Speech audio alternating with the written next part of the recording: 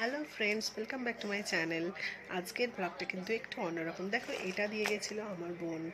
এটা কিন্তু আছে পেস্তা। তো পেস্তাগুলো তো খাবোই, তার সাথে সাথে কি করব চলো দেখতে থাকো ব্লগটা বাড়ির বাইরেটা ছোট্ট একটা স্নেক ট্রি হয়েছিল। তো সেটাকে কি করব, সেই চারাটাকে তুলে নিয়ে আমি ছোট্ট একটা আইসক্রিমের কাপের মধ্যে লাগিয়ে নিয়েছি। এবার এটাকে কি করে একটু সাজিয়ে ফেলা যায়, সেটা নিয়েই আজকের ভিডিওটা এটার জন্য আমি দেখো একটা ছোট রঙের বালতির ঢাকনা নিয়ে নিয়েছি, ঢাকনাটাকে একটু ধুয়ে নিয়েছি আর নিয়েছি ওই পেস্তার প্যাকেটটা। আর এর মধ্যে আছে বেশ কিছু পরিমাণে রোস্টেড পেস্তা। তো আমি কিছু দেখো পেস্তা বের করে নিয়ে খাচ্ছিলাম খেতে খেতে, কিন্তু হঠাৎ মাথায় আইডিয়াটা এসে যায়। তখনই আমি চিন্তা করে ফেলি যে এটা নিয়ে তো একটা কিছু বানানোই যায়, এই খোসাগুলোকে কেন ফেলে দেবো? খোসাগুলো তো দেখতে বেশ সুন্দর। তো চলো দেখতে থাকো যে আমি নেক্সট কি করতে চলেছি। তো যেটা বানাবো সেটার জন্য আমি এই পেস্তার খোসাগুলোর সাথে সাথে আরও নিয়ে নিয়েছি কিছু জিনিস। সেগুলো কি কি চলো দেখে নিই। সেগুলোর মধ্যে আছে আমার কিছু ফেব্রিক কালার তো এখানে আমি চার পাঁচটা রং আমার কাছে ছিল, সেই রঙগুলোই নিয়ে নিয়েছি। তার সাথে নিয়েছি একটা ব্রাশ এবং তার সাথে একটা রঙের পাটি। এইবার দেখো, আমি পেস্তার খোসাগুলোকে একটা একটা করে আলাদা করে নিয়েছি এবং এক একটা খোসার ওপরে আমি কি করেছি? রং করেছি। তো ফার্স্টে আমি কিছু পেস্তার খোসাকে ধরে কিছুটা হলুদ রং করে নিয়েছি। গলায় ভীষণই ব্যথা, সদ্য ঝড় থেকে উঠেছি। তো কথা বলতে খুবই কষ্ট হচ্ছে। তাও ভাবলাম ভিডিওটা বানাই। তো সেই জন্যই বানানো করার পর পেস্তার খোসাগুলোকে দেখো, আমি একটা পেপারের ওপরে দিয়ে কিছুটা রোদে শুকিয়ে নিয়েছি যাতে কিনা রঙগুলো আর হাতে না হলুদ রঙের পর এইবার কিছু আমি পেস্তার খোসাকে লাল রং করে নিয়েছি।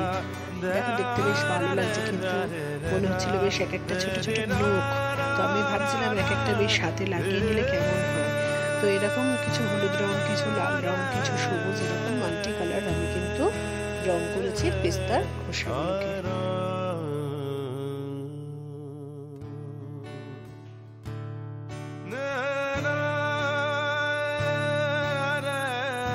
এইবার দেখো, আমি ঢাকনাটা নিয়ে নিয়েছি, ততক্ষণে আমার ওই খোসাগুলো মোটামুটি শুকিয়ে গেছে, লাল হলুদগুলো তো আমি সেগুলোকে মোটামুটি এবার ফুলের পাপড়ির মতো সাজানোর চেষ্টা করেছিলাম, কিন্তু হালকা তো পড়ে যাচ্ছে।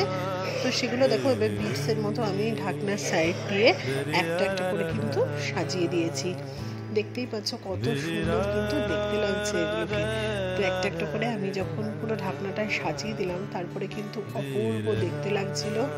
বিশ্বাস করো ভীষণ ভালো লাগছিল এগুলো দেখতে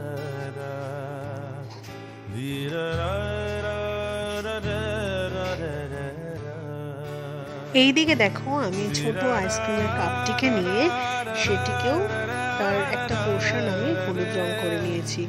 পুরো নিচের পোর্শনটা আমি হলুদ ফেব্রিক কালার করে নিলাম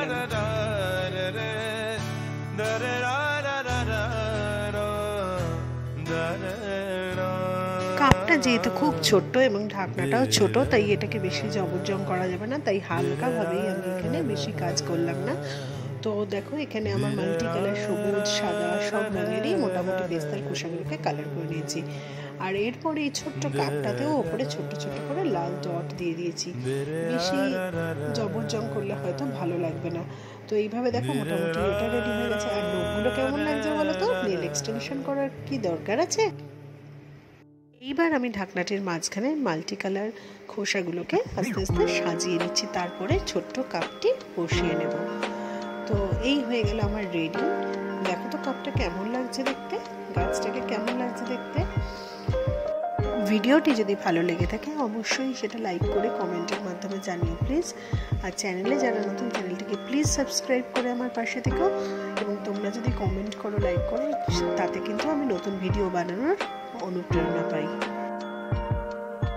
ব্যাস, আমার টপ তৈরি হয়ে গেছে। এবার যে কোনো সেন্টার টেবিলে এটাকে কিন্তু ঘরে তোমরা সাজিয়ে রাখতেই পারো। দেখো, এখানে কিন্তু খুব ভালো লাগছিল দেখতে।